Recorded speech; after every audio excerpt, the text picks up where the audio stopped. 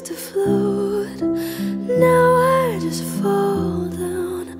I used to know, but I'm not sure now what I was made for. What was I?